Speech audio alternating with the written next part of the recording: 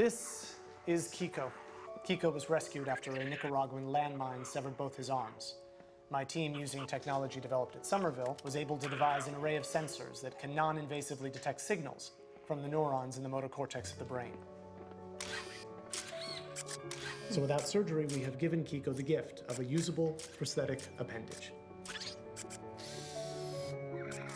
What's he doing?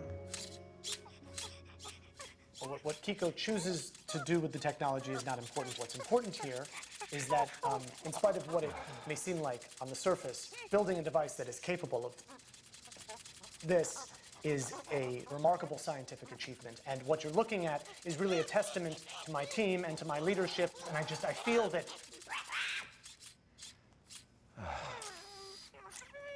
I'm going to have to insist that Spaghetti be removed if I continue here. Davis, there are a lot of forces at work here. There's a, a lot at play that you're not privy to. Please do not question how I choose to run my company. Of course, I just have to think that both of our interests would be better served if Spaghetti was not. What is he doing now?